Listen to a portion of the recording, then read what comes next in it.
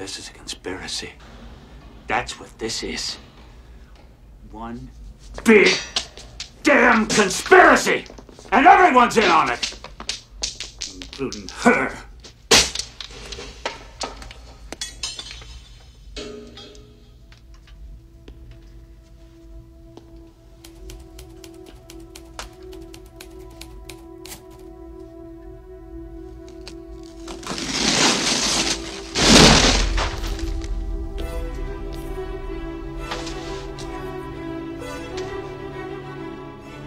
When analysing a film, there is a vast multitude of perspectives in which you can explore the content. In all the videos on my channel so far, I've been analysing single films primarily on the basis of their own merit. But above this, you can look at cinema more holistically. One of these ways is through the real world context of a film, whether social, political, geographical, historical, or any combination of these and other contextual aspects. It is almost impossible to not touch on at least one of these ideas when discussing the inner workings of a cinematic piece, and many of my videos do. Another way to examine a film is through such lenses as genre, which I will look at more in future videos. And then there are film theories. And I don't mean theories like what's in the Pulp Fiction briefcase. I'm talking about academic film theories. Scholarly approaches to analysing films that began as far back as the 1920s. The most commonly discussed of these theories include Marxist film theory, feminist film theory, and auteur theory. But the film theory that has always most interested me is the idea of apparatus film theory, and I think Red best summarized why that is. I imagine it appealed to his meticulous nature. What this theory suggests most simplistically is that every element of a film has meaning, and therefore you can learn a lot about a film's meaning by analysing the meaning of its elements.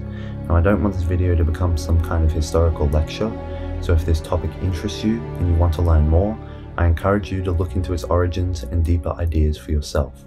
This video will be focused more on using this theory in a simplified form as a point of discussion, not as a theory in and of itself, but a lens in which to analyze two very popular but very contextually different films that I'm sure need no introduction.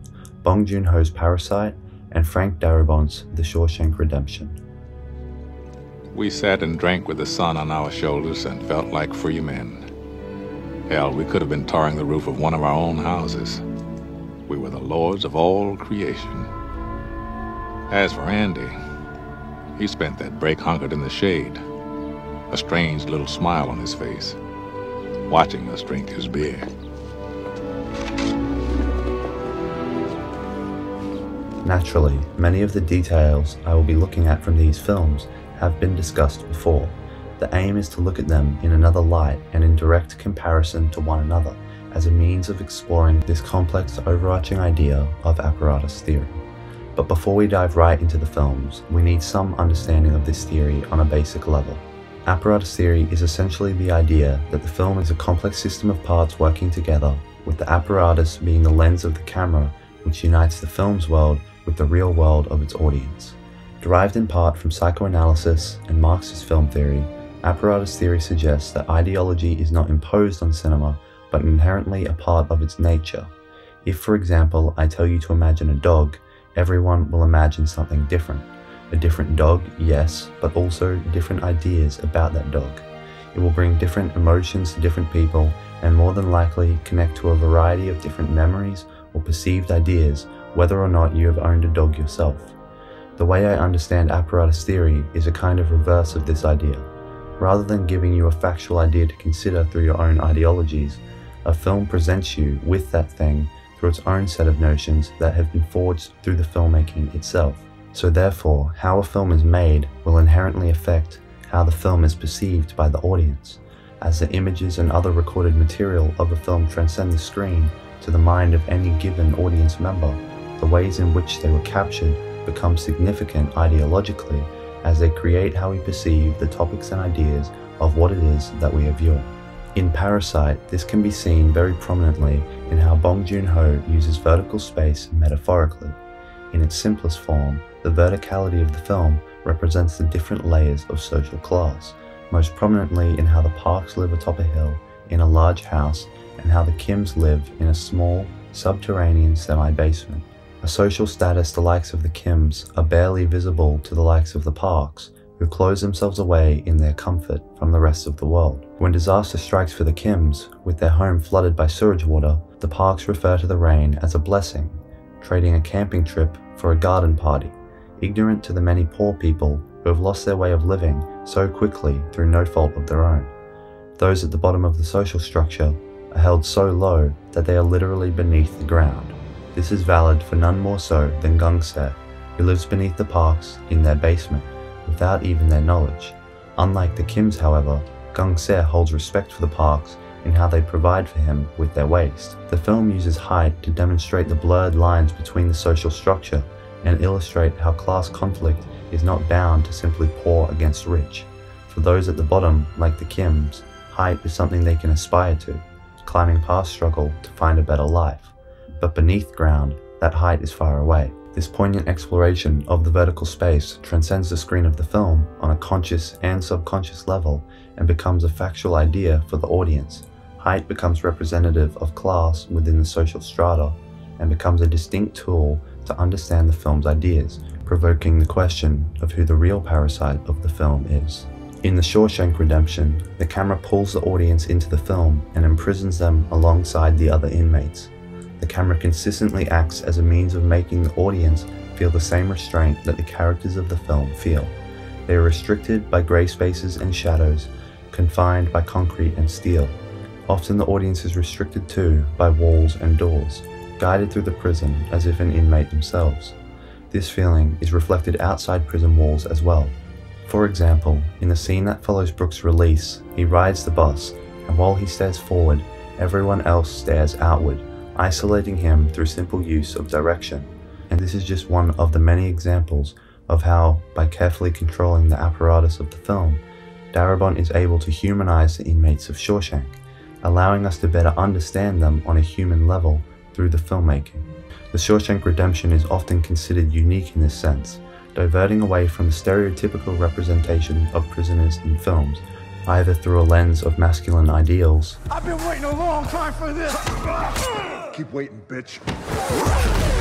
Or through being characterized as merely inhumane murderers. I ate his liver with some fava beans and a nice Chianti. The film comments on the corruption of the American prison system, and by extension, the cinematic representation of it, by allowing the audience to feel the impacts of prison life as if firsthand. The prisoners are stripped of their individuality and kept as lower working class slaves, creating a distinct social strata.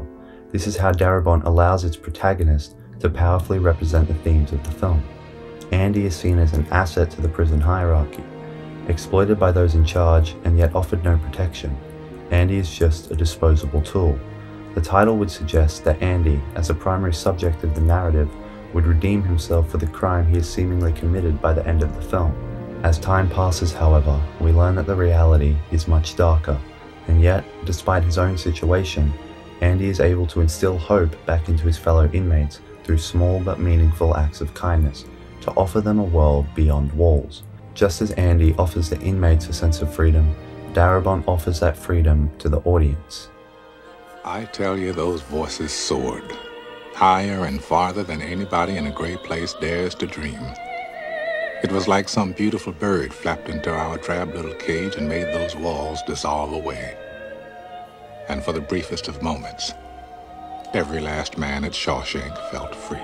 The power of these moments shows us that Andy is not redeeming himself, but rather he is redeeming Shawshank and everyone in it. Due to the way in which the film positions everything through the apparatus, the audience is able to see the prison as a morally reprehensible system and conversely see the inmates as genuine humans.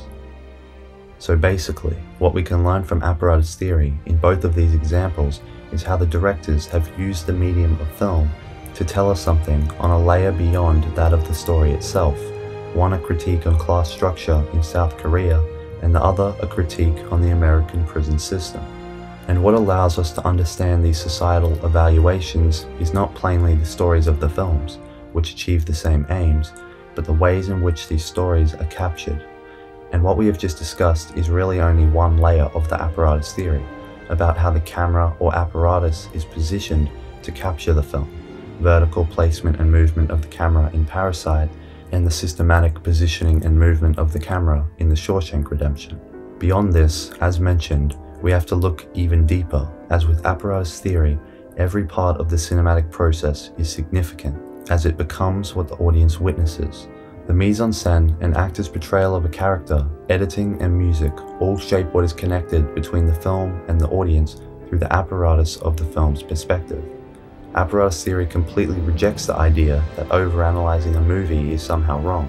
The statement that it doesn't matter what color the curtains are, or anything along these lines, is totally overruled, because, whether intentional or not, the color of the curtains affects our perception, even if only on a subconscious level.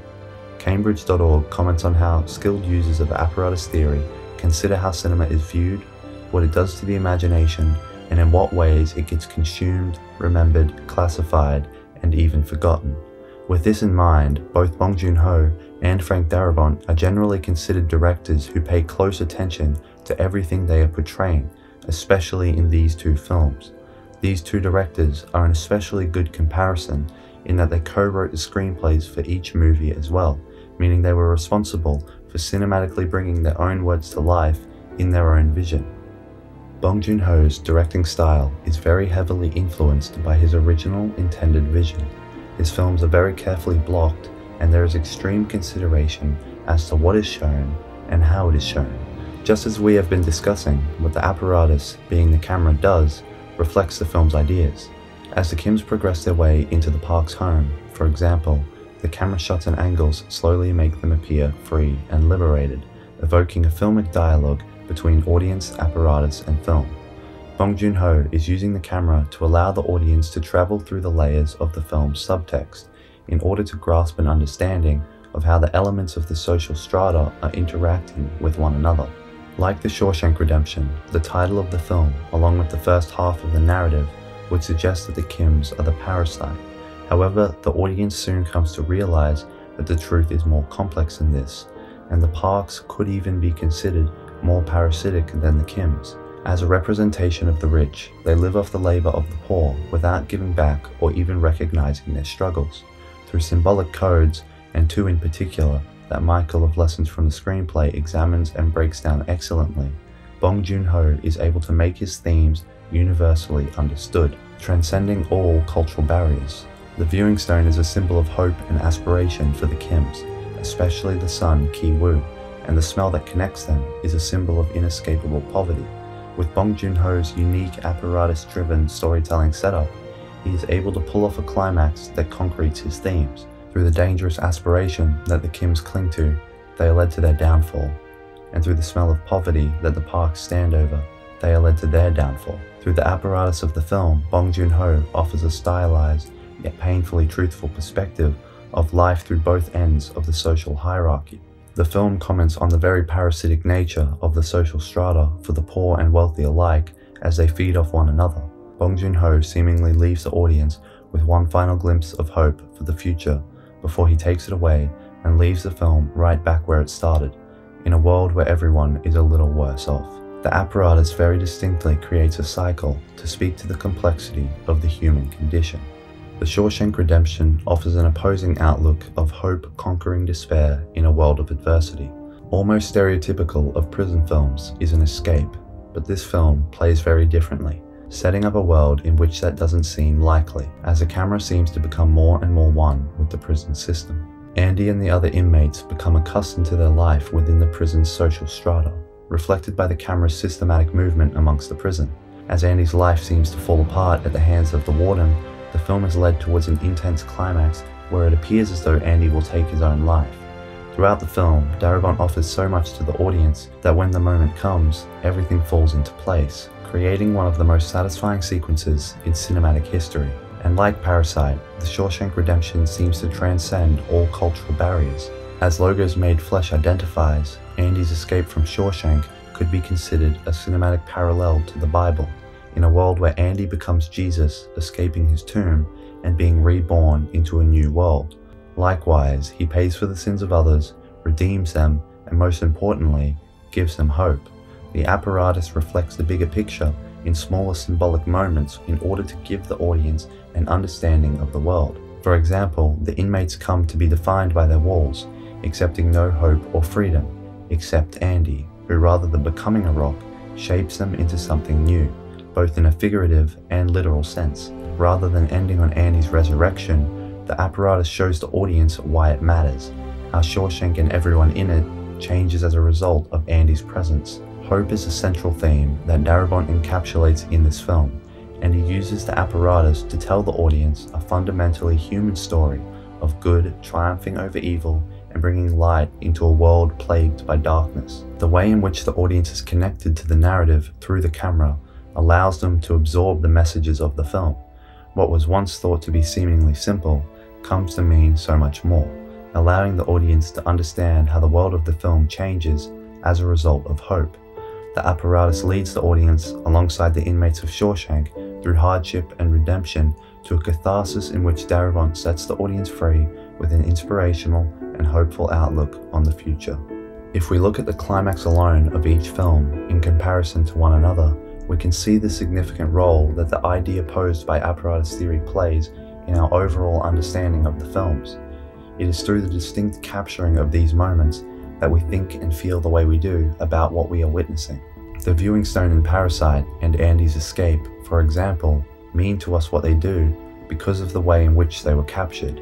The camera angles, editing, and sound design all serve in helping to make the central product become a visual representation of the film's ideologies. From what height and distance the camera is placed compared to the subject, to where the filmmakers decide to hold on one shot or cut to the next.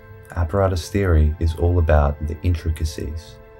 The likes of both Parasite and The Shawshank Redemption are considered masterpieces in their own right, despite being separated by about 10,000 kilometers and 25 years. Parasite is a story of greed and disparity, while Shawshank Redemption is a story of hope and salvation. They are so vastly different in theme and culture, and yet they are both significant and timeless cinematic works. What unites them is how they speak to something very fundamental within us as humans, whether of good or bad nature.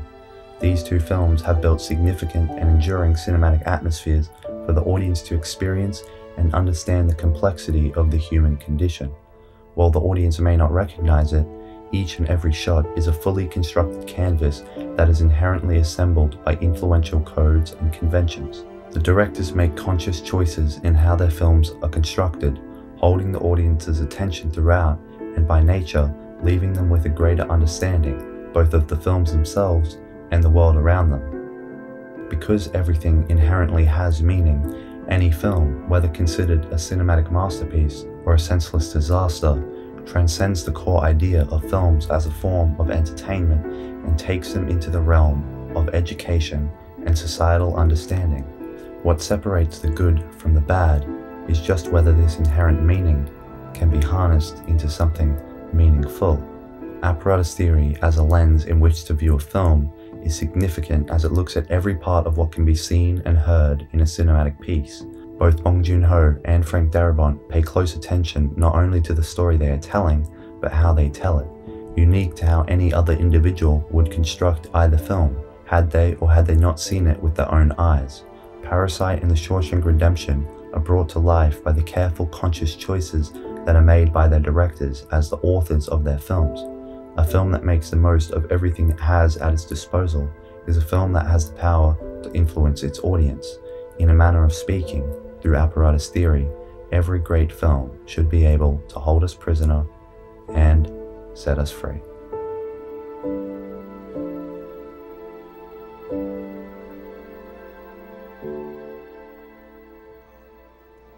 I have to remind myself that some birds aren't meant to be caged. Their feathers are just too bright. And when they fly away, the part of you that knows it was a sin to lock them up does rejoice. But still, the place you live in is that much more drab and empty that they're gone.